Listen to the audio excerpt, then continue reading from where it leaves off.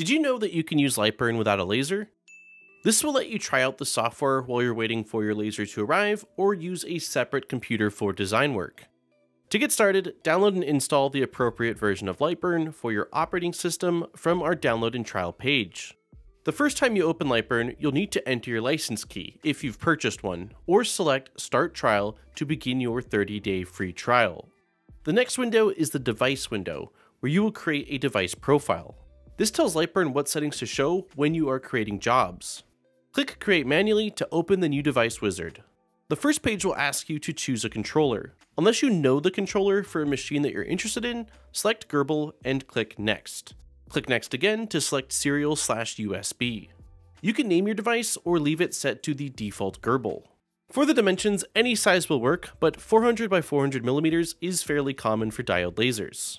The next page will ask about origin and if you want to auto home. We're going to leave them as default for now, you can always edit this later if needed.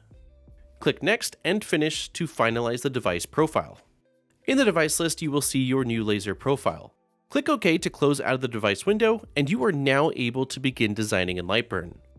Device profiles are saved and available to choose from each time you open Lightburn. When you do get your laser, you'll want to delete the test profile. Lightburn will then prompt you to create a device, and you can use the Find My Laser tool.